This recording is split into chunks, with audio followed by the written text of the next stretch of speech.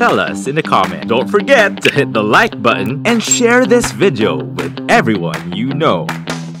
What's the story behind the song? Kwentuhan mo kami. Uh, tungkol saan tong uh, song or yung uh, naalaala? Uh, actually sa ano yan eh, uh, talagang ano po yan nangyari kasi yung close friend ko ano, parang matagal na, mat, nung, ano, matagal na silang mag-boyfriend girlfriend. Kaya lang yung kaibigan ko, may, ano siya, may, mahirap lang. Tapos yung babae, is, yung pamilya niya, merong, may, Kaya sa, uh, may kaya sa buhay. Tapos, eh, nung ano na sila, matagal na yung ano nila, inanuan sila nung ano, na parang... Pinigilan. Hindi ka Ah, naman, pinigilan. hindi naman bakit sa ganyang lalaki kasi iba tayo sa kanila, parang gano'n. Kaya doon Mm. ko na ano, kanta na yun, nabuo siya. Mm. So, eto kaibigan mo talaga to, hindi ikaw to. Mm. Promise. okay, okay. So, pa- paano nag-start yung music career niyo? Um, okay, ah ganito sir. Bali, matagal na kaming may grupo. Um, nagko-composing kami ng song kasi talagang simula pa nung una. Ang vision kasi namin sir is parang sundan yung mga idol namin like ah, yung mga OPM band natin na hanggang ngayon naman naririnig pa rin natin. So, matagal na rin kaming nag, nagtumutog na ng music and then dumating sa time namin na yung time na parang medyo nagkaroon kami ng down downs kasi parang nagkaroon kami ng misunderstanding sa grupo. Actually kami pa rin yun. Tapos uh, tumigil kami. And then matagal na panahon din kami na stop. And then sabi ko nga parang hindi pa rin ako makomportable na ganito na lang ako sabi ko. Naki, naririnig ko pa rin yung music namin. Then sabi ko baka gusto ko gusto ko sana gumawa ulit ako ng grupo. And then yun nung, nung nagkaroon ako ng chance na maka, makahanap ng mga musicians sabi ko parang siguro maganda to. May group kasi sa Facebook sir na uh, puro musicians yung, yung mga members. So nag-post ako doon na sabi ko, naghanap ako ng member. Sabi ko, kahit marunong for. sa so drums, ganyan. And then Oo. nakilala ko dito si, si Joseph sir. Ah, ayun nga, sa, nung unang nag-start kami, kakilala kami, puro chat-chat lang kami, wala pa talagang actual na nagkita-kita kami ganyan. Sabi ko, may, may, may songs ako na ginawa, pero hindi yun yung ginawa nitong grupo namin noon. So sabi ko, meron akong song na gusto natin uh, gawin. Uh, so, sinubukan namin na, eh, nag, nag-meet kami. And then, nung nag, nag, nagka, bago pa lang kami nagkakakilala, sabi niya may mga kanta daw siyang nagawa na hindi daw niya kayang express parang pag siya ang gumagawa, sabi niya, corny daw yung lumalabas. hindi niya daw talaga niya ma-express yung gusto niyang ilabas. Eh, kasi Ah, sabi niya, yun, yun na nga. So, nung na- nakagawa kami ng kanta, actually, apat lang kami. Ah, may, may drummer kami na hindi pa si EJ. So, ang pangalan po niya, sir, ay uh, Arsenio Ligati. So, kaming tatlo talaga yung original na nag, nag, ah, buo ng Human Simpatico. And then, ito nga, may mga nagkaroon kami ng mga struggle sa sa banda habang lumilipas yung panahon. Eh, itong drummer namin, um, nagkaroon siya ng medyo dumating sa point lang sir na kailangan na niya mag-focus sa family niya muna. Mm, Pero sabi ko nga, we, we are uh, six members in a group. Walang nawala. Kami pa rin to kahit na dumating yung uh, point na may iba nang tumutugtog. Sabi ko, lahat po ng pangarap namin, itutuloy namin nang kasama pa rin namin siya. And then eto na nga, eto na kami. Si Juan Simpatico. eto na. So eto si EJ sir yung drummer namin and si Emil at saka si John. Kami talaga yung grupo doon noon na, na, na College ba? college pa lang Mm. kami. So, eto na, naging kami pa rin, pero nadagdag nga si Sep na talaga namang napakadaming songs na pinakilala sa amin na sinulat niya Mm. mismo. Eto, Mm. Oo, oo. Mi- minsan may, may ano din yun eh, may merong ah, minsan pag halimbawa ikaw tapos nagsusulat ka ng kanta, tapos ikaw mismo yung nakikinig. Minsan sa pandinig mo parang corny kasi parang feeling mo ah, ikaw ikaw oo. Parang ganun, o kaya minsan may, may, may realize mo parang sabi ko, may, parang may katunog to ah. Parang hindi ko gusto yung ano nito. Pero pag pinarinig mo sa iba, pag ibang tinga yung naririn na nakikinig, doon mo lang ma-appreciate na, ano nagustuhan niya? Sabi ko, baka okay naman, parang okay naman pala tong kantang to. Parang gano'n, minsan kailangan mo ng ibang tinga na makikinig. Yeah. Or parang ah, influence na ibang-ibang yung- ah, Yan din po yung mga bukang bibig niya sa amin. Tol, parang ang pangit kasi, parang ganun ganyan. parang, parang makikinig dito, puro bakla lang. so, yun na nga, sir, nung pinatulan na namin tong ah, binubulong-bulong nito sa amin, lumabas na, sabi ko nga, yung, yung talent niya sa pagsusulat ng music talagang lampas sa amin. Kaya po talaga Oo. sabi ko, talaga ako na nakilala. And napaka-humble ng taong to. Bukod sa napaka-galing magsulat, napaka-bayad. Oo. Kanina nag- nagkukwento siya, sabi niya, galing daw kasi siya parang kaskasan, medyo uh, maingay na kanta. Tapos, ang, ang, ang pagkakaintindi ko sa sinabi kanina, parang sabi niya, ah, hindi niya pinap- pinapansin yung mga medyo love song kasi parang feeling niya medyo masyadong ano masyadong sentimental masyadong emo ganyan Ah, ayoko. sabi ko na, parang nakaka-relate ako dito sabi ko yung mga guma- gumagawa din ng kanta tapos hindi ko pinapansin yung mga love song tapos nagkaroon ako ibang banda bro meron ako ibang kanta dito pero hindi ko alam kung trip mo love song. Yung pinakinig ko sabi ko okay pala. Sabi ko hindi naman ano ganun ba? Sabi ko kasi sabi ko sanay ako ng maingay eh. Sabi ko yung mga pang, pang tugtugan na pang mosh pit mga mga oh oh.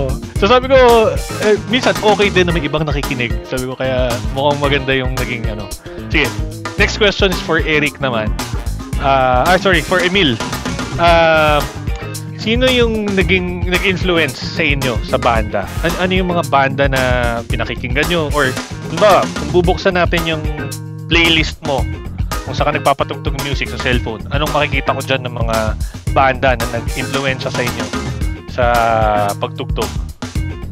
Sa mga sir na unang banda na sumigat talaga. Ang pinakinggan ko talaga yung Parokya, Kamigasing, yung mga yan, yung USA. Pero yung sa Oo. ngayon, December Ab, War of Space, Oo. Ayun, mga band is band. Ayun, mga, mga brand. Sa mga international band naman, wala kasi akong ano, yung specific genre na gusto talaga. Mm. Ah, pag natripan ko yung kanta o banda, papakinggan ko yung nakakalimutan. Mm. Sa international, sinong pinapakinggan mo? Sa international ano na mga banda? Joby, Journey, yung mga... Ay, mga kaluma talaga ang napakinggan ko yung. Ganun talaga. Classic, classic rock. Oo, classic rock sir. Mm, okay, okay. Kaya pala ganun yung medyo lead mo eh. Medyo parang journey, medyo ambient na medyo... oh, suabe. Mm. Pero idol ko talaga yung sa dito sa Pilipinas, yung sa gitarista ng December namin, si Gemma Lewis. Mm, mm, mm. How about yung iba? Meron, meron pa ba kayo ibang ah, influence? Yung ibang banda? Yung iba sa inyo? Si Joseph or si Eric? Sino pa sa inyo may ibang pinakikinggan? Ako talaga sir, ang pinapakinggan ko yung December December talaga and yung yung Ben and Ben. Maliban pa dun sir, yung ibang na-appreciate ko sir, uh, pailan ilan pero doon ako nakapokus kasi parang doon ako sa mas ano, mas silent song talaga. Yun, hinubog ng Silent Sanctuary. Oo po sir. Mm. Ayan. Oh, okay, okay. Yung medyo mas Ayos. ma, ano smooth sa ano sa pandinig yan. Mm. So, ikaw sir, ka.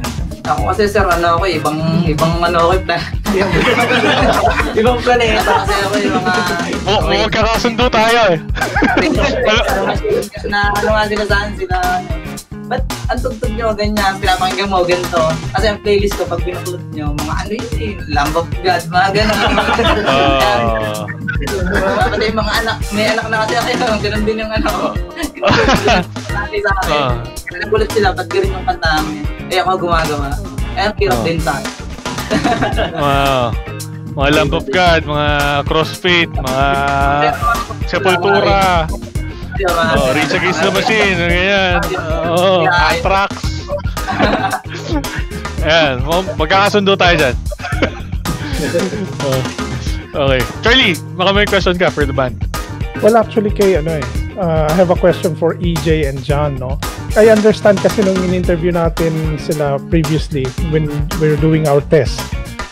Um, nagpa-perform na sila. Meron na actually na silang live gig some, uh, sa Laguna in some of the venues.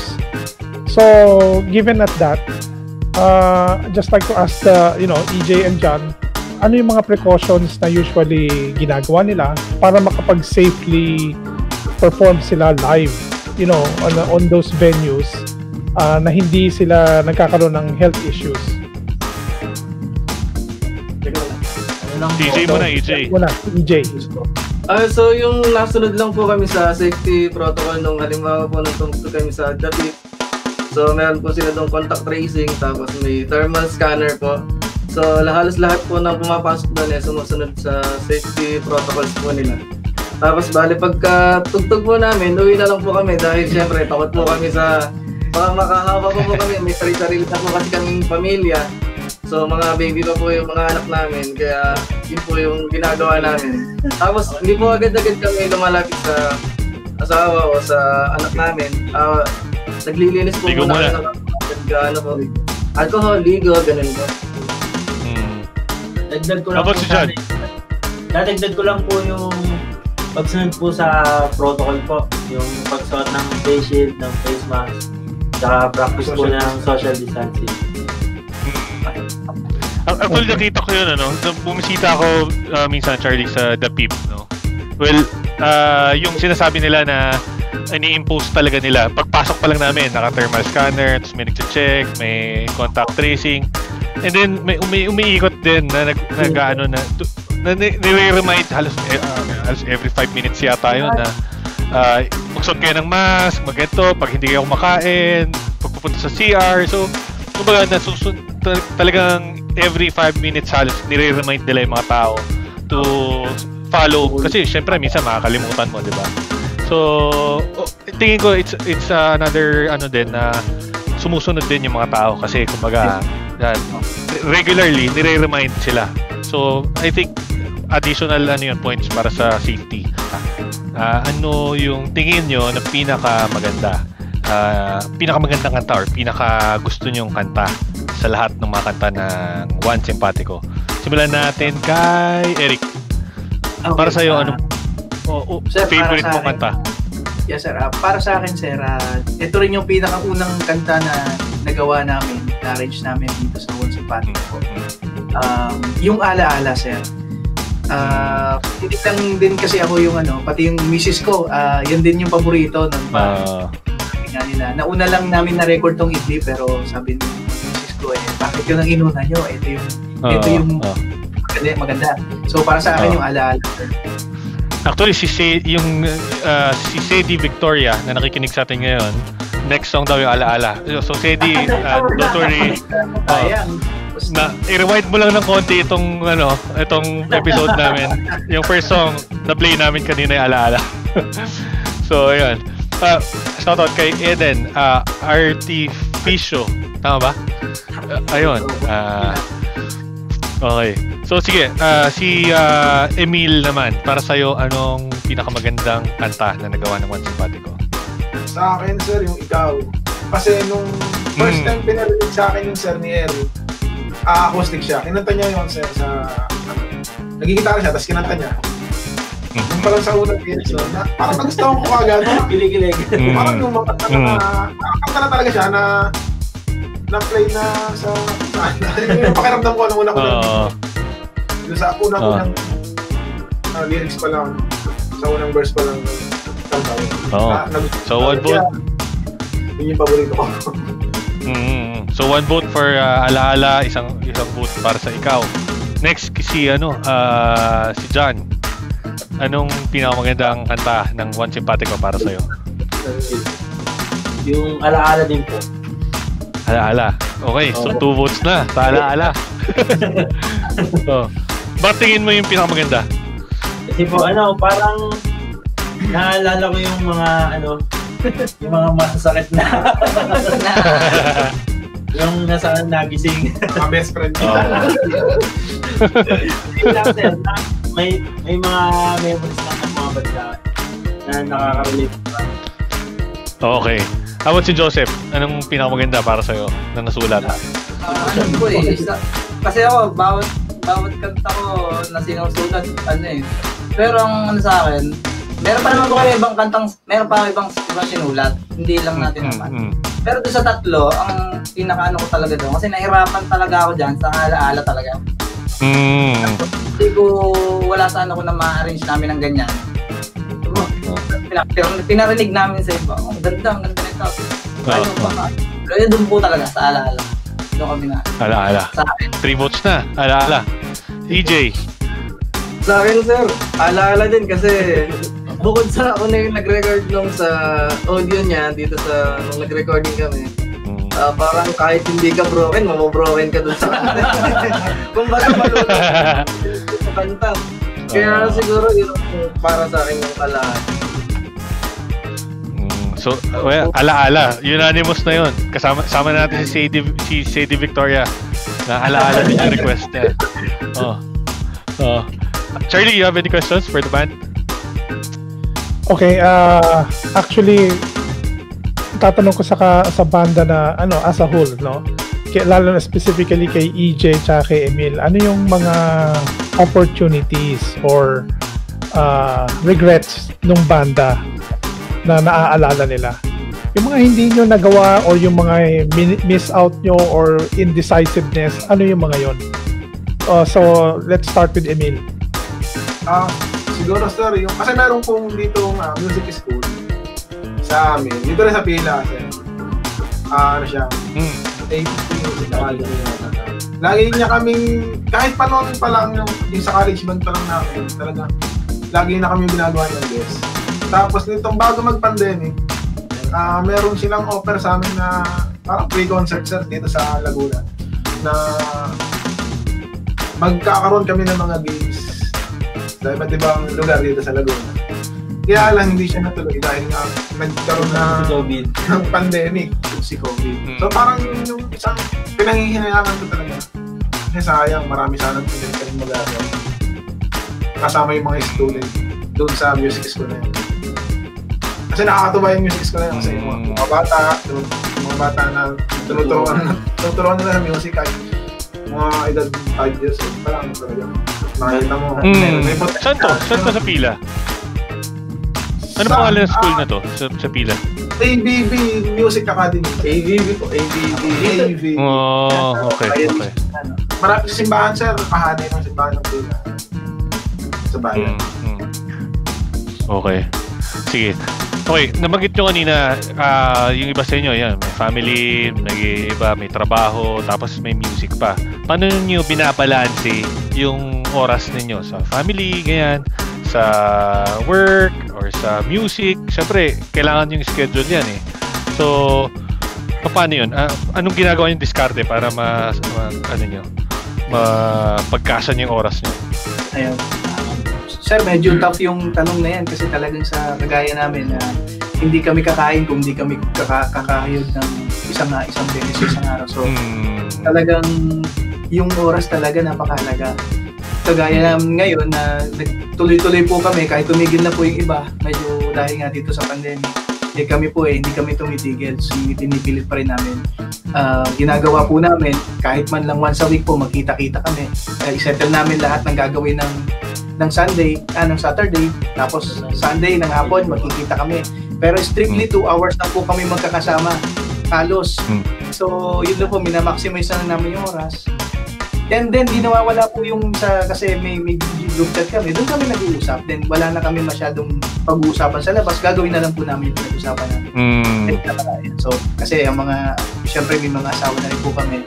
At may anak, kulang-kulang. Si John pa lang yung wala. Ayan, so talagang yung pinaka ano, pinaka uh, uh, uh, pinakang gusto namin mangyari is mapasaya namin yung pamilya namin at the same time matuloy yung passion. So kahit 2 hours lang sa isang linggo, tinutuloy pa rin po namin, sir. Para sa mga gigs, doon pumapasok yung mga Mm. job. Yun, yun, sa gig. Yun ang mahirap. Sa So, trabaho. So kumbaga, meron kayong group chat. Tapos sa group Yes. chat nyo, ah dinidiscuss yung mga assignments nyo. Online Yes. assignment. Tapos sa Sunday, exam na. Actual. Parang ganun, ganun. Na nga po, Parang, parang online schooling din, ganun. Simula po yan na nag-pandemic, talagang naging basehan na po talaga namin ang aming ah, activities yun nasa GC talaga po. Yan. Tapos, Mm. syempre, bawal talaga kami sa, hindi kami iniiwasan namin yung ibang mga lakad para po yung mga misis namin, mapayagan kami dito sa amin. Isang beses na lang kasi sa araw. Number yan. one talaga kapag sila po yung lumalis kami ng malungkot sa bahay, hindi kami makapag-focus kaya kailangan maganda yung kondisyon. Gagawin na namin lahat kahit po maging tigasin kami sa bahay. Ang adjustment Tiga saing, tiga linis, tiga bili ng grocery. Tiga ng paso pa. Oo. Para sa music, for the love of music. Lahat naman, ano, supportado. Ayun, sir. Yun lang po yung kagandahan, sir, kasi from the start talaga, suportado kami ng mga... Siguro dahil sa nakilala namin sila na ito na talaga kami. Nagbabanda na kami, na. Opo. Kasama Tsaka, na kami. tapos yung mga misis namin na talaga namang laging nasa likod namin para itulak kami na kaya mo yan. Ganto, ganto, ganyan. Magaling kayo, kaya niya lang sa sarili. and Huwag kayong, huwag okay, okay. kayong lilimot sa na nasa taas. So, yun lang po yung lagi namin. Ah, akala ko, tinutulak kayo palabas. Umalis ka na dito. Huwag ka nang baba. Ayun po, paluwi, paluwi. Lagi ka na lang nasa banda.